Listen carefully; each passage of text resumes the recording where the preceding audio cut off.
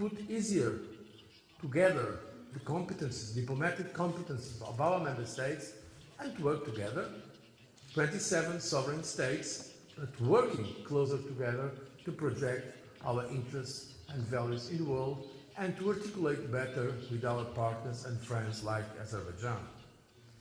The European Union has also greatly strengthened its voice in diplomatic, security, defense, trade and development issues with the creation of a European External Action Service. Our delegations abroad now represent the European Union and hold the permanent European Union presidency, which enhances continuity and coherence. We have also adapted to the new geopolitical realities with the 2004 and 2007 enlargements encompassing countries from Central and Eastern Europe, the European Union found itself with many new neighbors, such as Azerbaijan, with different history, but also with ambitions and expectations that are very similar to those of the European member states. The European Union's response to this new geopolitical environment was the launching of the European Neighbourhood Policy, which aims at promoting a true partnership with our neighbours to consolidate stability and prosperity. Now, what does this mean for the European Union's relations with Azerbaijan? First and foremost, it means that as with our Eastern partners, we seek to engage with Azerbaijan in a more targeted way, beyond classical diplomacy and development assistance, to focus on shared programs for reform and modernization. Let me start with this policy framework. The policy framework is the Azerbaijan European Union Action Plan, agreed in 2006. This plan, along with the Eastern Partnership Prague Declaration three years later, sets out a comprehensive vision for the future. The ambition is to promote nothing less than the political association and economic integration of Azerbaijan with the European Union. So it is in fact a very ambitious program. And in order to achieve these objectives, the Eastern Partnership Policy Framework focuses on four specific areas. These are, first, deepening bilateral relations through new bilateral association agreements. These agreements are meant to bring our cooperation to a higher level by intensifying our joint work in a broad range of areas, including energy, environment, and education. And since I'm in this prestigious education institution, Baku University, let me tell you that this was one of the points that yesterday, in my very fruitful, friendly, open consultations with President Aliyev, he himself was mentioned with great emphasis. As you know, President Aliyev gives a great importance to education as a way of the modernization of your country, and the European Union is proud to be accepted as an important partner in that matter as well. In July last year, the negotiations on an association agreement with Azerbaijan were opened here in Baku. These negotiations are continuing in great intensity, covering all relevant areas in the political sphere as well as in the economic and technical sectors. Second, there is the prospect of strengthening trade and investment by establishing deep and comprehensive free trade area. This is very ambitious as it implies the gradual opening of European Union's internal markets to our partners. However, for this vision to become a reality, Azerbaijan will have to join the WTO first. We'll have to invest more time and effort to achieve this goal, but rest assured, the European Union is ready to support Azerbaijan in this endeavor. Third, promoting mobility of citizens and visa liberalization as a long-term goal is also an important objective of this partnership. This will be of great value as greater mobility will increase direct contacts among people.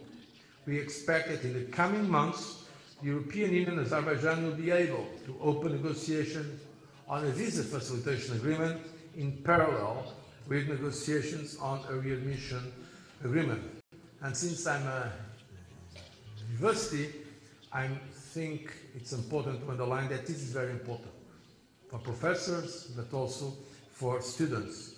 Experience shows that once these agreements are in force, students are among the first to seize the new opportunities that open up for exchanges. And this I want to tell to you and to your students as well. that we would like to see more contacts in the field of education and more students of Azerbaijan also in the European Union. The fourth and final focus of the Eastern Partnership is to strengthen energy security through cooperation to ensure long-term, stable and secure energy supply and transit. Azerbaijan has a central role to play here, being both a producer and a transit country. The beauty of our energy cooperation is that it is for the benefit of both parties. Indeed, it is as important for Azerbaijan to diversify its export markets as it is for Europe to diversify its energy supplies. Our energy cooperation is advancing rapidly. In 2006, I signed a memorandum of understanding on a strategic partnership in the field of energy. Yesterday, with President Aliyev, I signed a declaration underlining our commitment to support the establishment of a southern gas corridor, providing European markets and consumers with gas from Azerbaijan. And in my very intense and open, friendly consultations with President Aliyev, I understood how committed, politically and personally, he is to this project. In addition to strengthening bilateral relations, the Eastern Partnership introduces a stronger concept of multilateral cooperation with a view to encouraging links among partner countries themselves. Contacts and discussions between parliaments have also provided a platform for contacts between civil society as part of this Eastern Partnership. For its part, the EU is helping by offering technical and financial assistance, transfer of know-how and expertise, participation in new programs and other policy instruments. We have been providing technical and financial assistance to Azerbaijan since the 90s and in recent years. Uh, this has focused on strategic sectors such as energy and the justice sector. Azerbaijan is also one of the first among our partners to use twinning assistance. This allows experts from the administrations of EU member states to provide on-the-job training for Azerbaijan civil servants in their own environment. This transfer of know-how has already proven extremely successful during European Union enlargements, and we expect it to be of great value for Azerbaijan as well.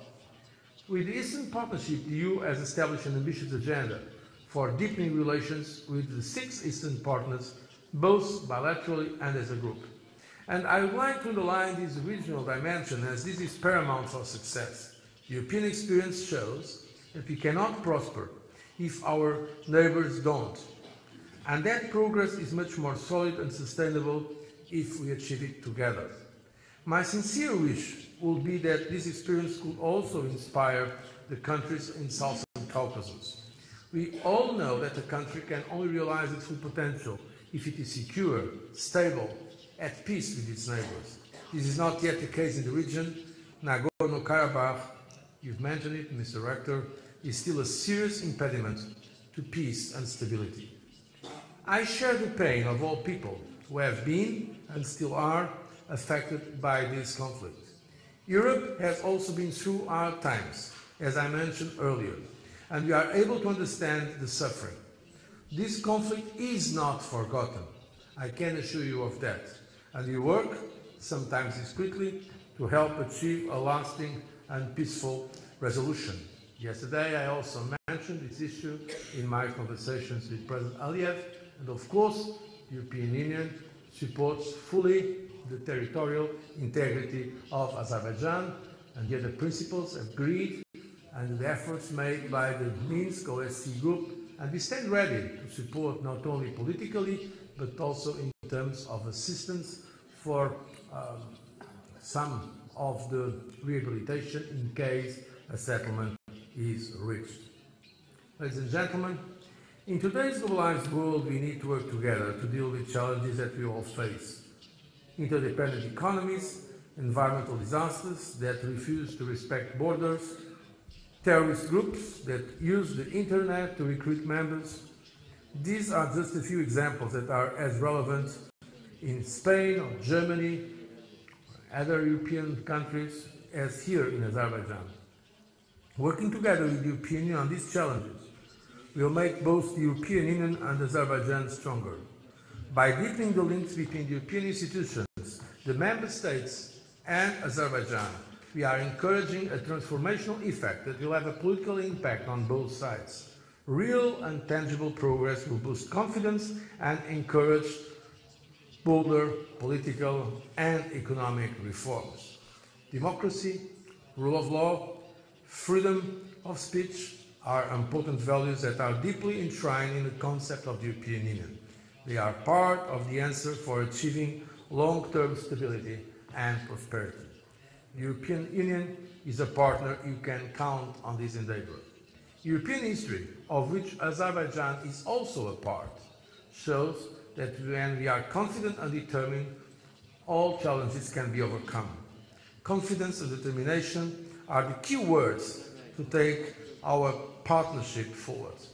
For, as the great Azeri poet and philosopher Nizami Ganjavi has said, and I quote, in the hour of adversity, be not without hope, for crystal rain falls from black clouds. I thank you for your attention.